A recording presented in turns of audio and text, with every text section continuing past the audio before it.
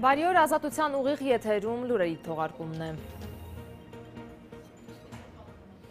Մամուլում տեղեկույցություններ են հայտնվել այն մասին, որ հայր և որդի ջուլֆալակյանները բրնություն են գործադրել մի քաղաքացու նկատմամբ տեղեկությունը սակայն դեռ ճշտվում է ոստիկանությունից ազատությանը հայտնեցին, որ մայիսի 5-ին ահազանգ են ստացել Երևանի բժշկական կենտրոնից շտապօգնության մեքենայով Աբովյան Թումբանյան փողոցների խաչմերուկից հիվանդանոց է տեղափոխվել սալ ջարդներով մի տղամարդ։ Հանգամանքները պարզվում են։ Ջուլֆալակյանը իր ֆեյսբուքյան էջում գրել է. Միանգամից ասեմ, որ ծեց կրտուկ և ֆիզիկական բրնություն իմ և իհարկե Լևոն Ջուլֆալակյանի կողմից չի եղել։ Սերգեյ Մխիթարյանը հանդիսանում է մեզ հետ միասին սրճարանի համասեփականատեր և երեք հանդիպել էինք գործնական հարցերի քննարկման համար, որը անցել է սովորականից մի փոքր լարված մտնոլորտում։ Զրույցի ընթացքում իրեն նա վատ է զգացել, ավելի ուշ բուժքույրն ասել է, որ ճնշումն էր բարձրացել, կանչել ենք շտապօգնություն և տեղափոխել ենք հիվանդանոց։ Հետագայում իմանալով նրա կողմից արված հայտարարության մասին ինքնակամ գնացել ենք ոստիկանություն, պարզելու թե ինչով էր պայմանավորված նման պահվածքը եւ ինչի համար է այդ ամենը արվում, գրել է Ջուլֆալակյանը իր Facebook-յան էջում։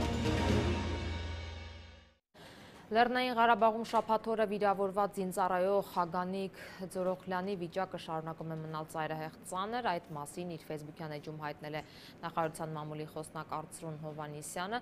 Զինվորը ըստ Հովանիսյանի վիրավորում է ստացել գլխի շրջանում, երեք նա Երևան է տեղափոխվել մեքենայով եւ զինվորական հոսպիտալում է։ Հոսպիտալում է նաեւ Տավուշում ապրիլի 30-ին հակառակորդի կրակոցից գլխի շրջանում վիրավորված 32-ամյա պայմանագրային զինծառայող Արգիշտի Սեփխանյանը։ Արգիշտի վիճակը ծանր կայուն է, դերական դինամիկա ունի ընդհանրապես Արգիշտին, բայց հələ վաղ է կոնկրետ գնահատականներ տալուց։ Աղանիկի վիճակը շարունակում է մնալ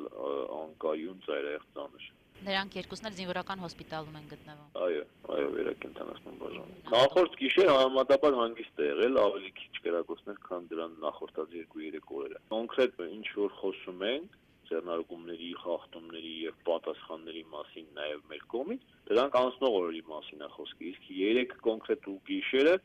երկու կողմից էլ համեմատաբար հանգիստ է եղել։ Ազգային ժողովի նախագահ Արարատ Միրզոյանին ուղված գրությամբ է հանդես եկել Բարգավաճ Հայաստան խմբակցության ղեկավար Գագիկ Ծառուկյանը հայտարարելով, որ падգամավորի կողմից ձեռնարկատիրությամբ զբաղվելու արգելքի օրենսդրական ամրագրման պահից արևտրային կազմակերպություններում ունեցած իր բաժնեմասերը հանձնել է հավատարմագրային կառավարման։ Ծառուկյանը, որ Հայաստանի ամենահարուստ մարդկանցից մեկն է, պարզաբանում է, որ հավատարմագրային կառավարման վերջին պայմանագիրը կնքել է 2017 թվականին 5 տարի ժամկետով։ ԲՀԿ ղեկավարը նաև պնդում է իրան հայտարարությունը, թե հանձնարարել է 10,000 դրամով էժանացնել ցեմենտի վաճառքի գինը արել է որպես հանրապետությունում հրճակված տնտեսական հեղափոխության մեկնարկի առաջին քայլ ուղակի իմաստով հայտարարությունը նշանակում է, որ հրաժարվում է ցեմենտի արտադրությունից ակնկալվող շահույթից։ Այլ կերպ այս հայտարարությունս չի կարող նույնանցվել անձամբ ձեռնարկատիրական գործունեություն իրականացնելու գործառույթի հետ, ասում է Ծառուկյանը։ Անցած շաբաթ ազգային ժողովի նախագահը Ծառուկյանին կոչ էր արել հրապարակային պարզաբանումներ ներկայացնել չմարող քննադատության շուրջ, որ խախտելով սահմանադրությունը նա զբաղվում է ձեռնարկատիրությամբ։ Այսօր Ծառուկյանի այս հայտարարության ազատության հետ զրույցում արձագանքել է Իմքայլը խմբակցության ղեկավար Լիլիթ Մակունցը։ Տիկին Մակունց Գագիկ Ծառուկյան արձագանքել ազգային ժողովի նախագահ Արարատ Միրզոյանի կոչին եւ հայտարարություն է տարածել մանրամասնելով, որ փորձելով հիմնավորել, որ չի զբաղվում ձեռնարկատիրական գործունեությամբ, падգամավորական գործունեությանը զուգահեռ եւ չի խախտել սահմանադրությունը։ Ձեր արձագանքը ծանոթացել եք հայտարարությունը։ Քիչ առաջ մամուլի ասուլիսի ենք եւ ենթադրում եմ հենց այդ ընթացքում է եղել հայտարարությունը, շատ հպանցիկ ծանոթացել եմ եւ ընդհանուր կետերով այո, ծանոթացել եմ այն դրույթներին, որը դուք հնչեցրիք կարծիքը դա բավարար է Ծառուկյանի պատասխանը։ Տեսեք, ես մանրամասն իհարկե կծանոթանամ, նաև խմբակցությունով կծանոթանանք արձագանքին, որովհետև կարծում եմ այսպես լսելով կամ արագ ծանոթանալով հարցը չի կարող լուծում ստանալ, բայց եթե հիշում եք, ես նաև արձանագրել էի, որ կա բաց օրենքում, որը այսպես լողալու ինչ որ կարծես տեղ է տալիս եւ մենք անպայման պետք է օր առաջ հետամուտ լինենք որպեսզի այդ բացը լրացնենք օրենսդրական կարգավորմամբ։ Ինչ բաց նկատի Տեսեք, մի կողմից մենք ունենք սեփականատեր լինելու հնարավորությունը, որը թույլ է տալիս քաղաքական գործչին, օրենսդիր մարմնում աշխատողին, մասնավորապես օրենսդիրում, հա, ունեն լինել սեփականատեր, բայց հնարավորություն չի տալիս զբաղվել ձեռնարկատիրությամբ։ Եվ այստեղ այդ բաժանարար գիծը շատ նուրբ է եւ հնարավոր չէ իրականում հստակ ֆիքսել թե որն է ձեռնարկատիրությամբ զբաղվելը եւ որը չէ։ Եվ խմբակցությունում նաեւ մասնավորապես Հերիկնաս Տիգրանյանը պատգամավորներից նշել էր այն կետերը, դրույթները, ցիտելով օրենքների հոդվածները, որոնցով այդ բացը պիտի լրացվի։ Եվ մենք անպայման հետամուտ ենք լինել դրան, կարծում եմ օր առաջ պետք է դա հստակեցվի։ Այս պատասխան հայտարարության փակվելու է թեման։ Տեսեք, խնդրի մասին ազգային ժողովում արդեն իսկ խոսել են տարբեր падգամավորներ, այդ թվում եւ Իմ Քայլը խմբակցությունից։ Խնդիրը մեր տեսադաշտում է, եւ մենք չենք հրաժարվում որևէ կերպ առերեսվել դրանից եւ դրան լուծումներ տալ։ Ինչ վերաբերում է կոնկրետ Գագիկ Ծառուկյանի հետ կապված հարցին, որը բարձրաձայնել է քոն, հիմա այն գտնվում է իրավական դաշտում եւ իրավական գործընթաց է արդեն սկսվել։ Այսինքն այս պարագայում էթիկայի հանձնաժողով ստեղծել չստեղծել այս պարագայում իրականում պիտի սպասենք իրավական գործընթացների ավարտին, որ เป զի հարցը տեղափոխենք այլ դաշտ։ Եվ կարծում եմ, մինչև հարցը տեղափոխել այլ դաշտ իրավական գործընթացներում արդեն արդյունքում կունենանք եզրակացություն որոշակի։ Պաշտոնաթող նախագահ Ռոբերտ Քոչիրյանի եւ մյուս 3 բարձրաստիճան պաշտոնյաների գործով դատավոր Վարդան Գրիգորյանը ինքնաբացարկ է հայտնել։ Տեղեկությունը ազատության հետ զրույցում հաստատել է դատական դեպարտամենտի խոսնակ Արման Խաչատրյանը հավելելով, որ գործը կվերամակագրվի այլ դատավորի։ Թե ինչու է Վարդան Գրիգորյանը ինքնաբացարկ հայտնել դեռ հայտնի չէ։ Նա ընտրվել էր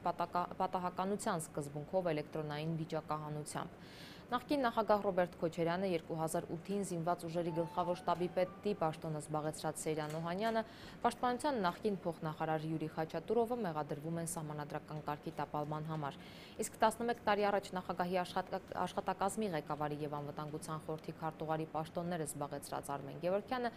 մեղադրվում է սահմանադրական կարգի տապալմանն օժանդակելու, առանձնապես խոշոր չափերով կաշառք ստանալու եւ հանցավոր ճանապարհով ստացված գույքը օրինականացնելու համար։ Նախկին նախագահին նաև առանձնապես խոշոր չափերով կաշառք ստանալու մեղադրանք է ներկայացվել։ Աշխատանքի եւ սոցիալական հարցերի նախարար Զարուհի Բաթոյանը այսօր ամփոփել է իր պաշտոնավարման 100 օրը։ Նշեմ, որ բազմիցս արդեն հայտարարել ենք, որ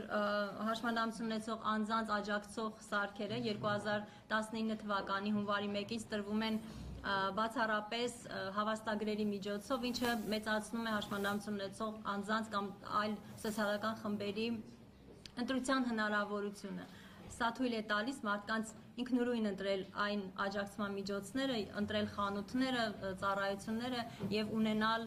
համապատասխան որակ եւ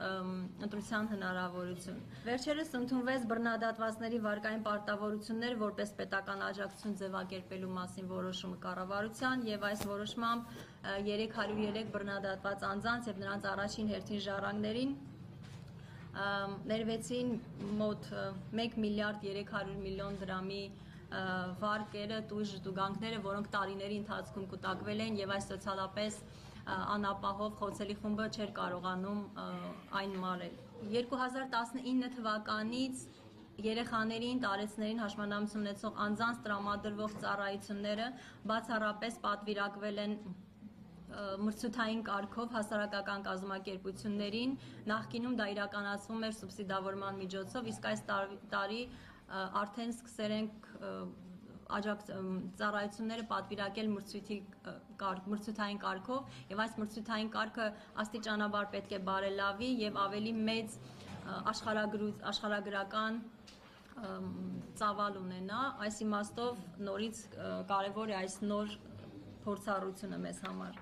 Վարչապետի որոշմամբ ստեղծվել է նաև աշխատանքային խումբ ընտանեկան նպաստի համակարգը վերանայելու ուղղությամբ Այս աշխատանքային խմբում ընդգրկված են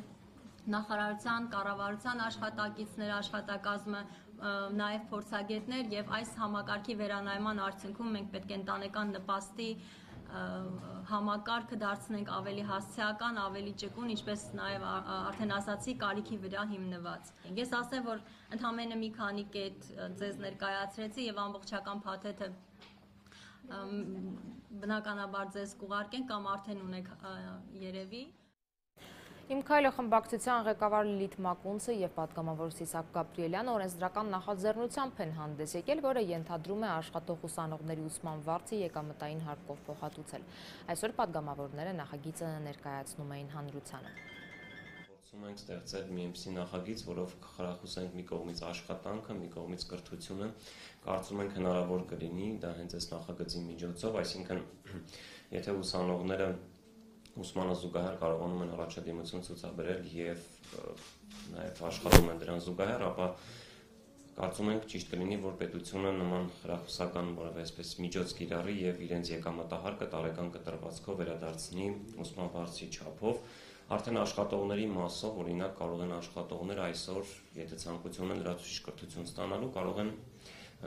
ընդունվել որևէ համալսարան եւ ստանալ երկրորդ մասնակցություն կամ վրացուցիչ իրենց մասնակցությամբ մագիստրատուրան ավարտել մագիստրատուրայի դեպքում մի փոքր ավելի հեշտ է այստեղ որովհետեւ մի շարք համալսարաններ այս մասով արդեն դասագրաֆիկներ ունեն ճկուն այնտեղ դասաժամերը նաեւ սկսվում են շատ տեղերում 18-30-ից հետո այսինքն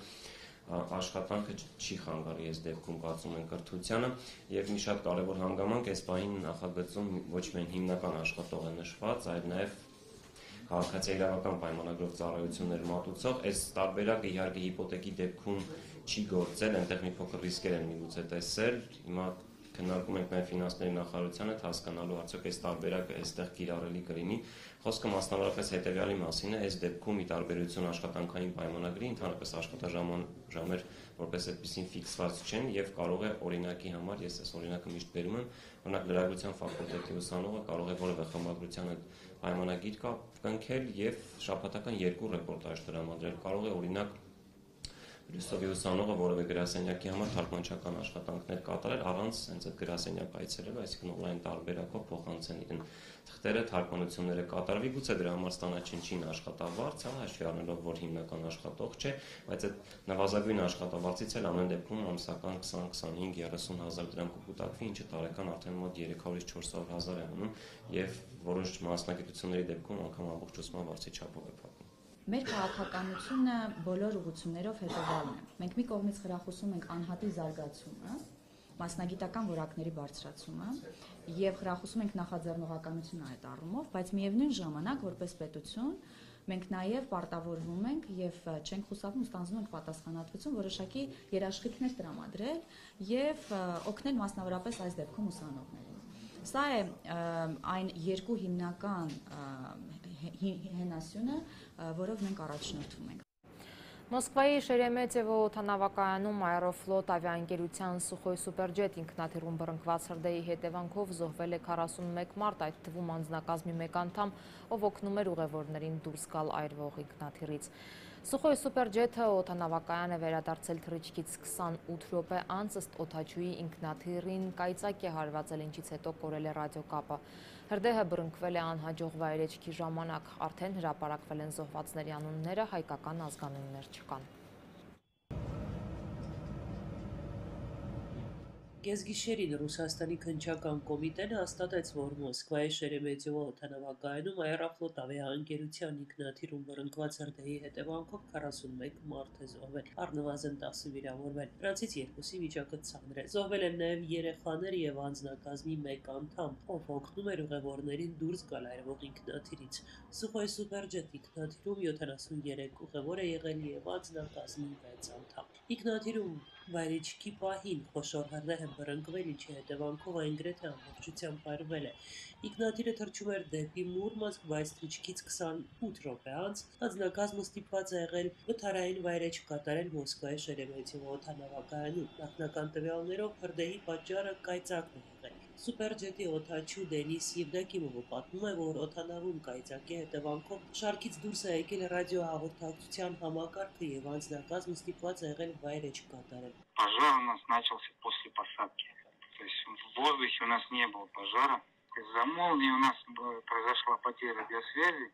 հրդեհը բռնկվել է արդեն անհաջող վայրեջքի ժամանակ, թե ինչու են բռնկվել եւ դոկիմովը չի կարող հստակ բացատրել։ Վայրեջքի ժամանակ օթանավը երկու անգամ հարվածել է թրիչքուղում։ Քրեական գործը հարուցվել է օթային տրանսպորտի շահագործման կանոնները խախտելու հատկանիշներով։ Ինքնաթիռը 2018 թվականի արտադրության էր, Սուպերջետը վատ հեղինակություն ունի։ Այս ընկերության օթանավերը գրեթե չեն գնում արտասահմանյան ընկերությունները։ Հիշեցնեմ, փորձնական թռիչքի ժամանակ դերևս 2012 թվականին Ինդոնեզիայում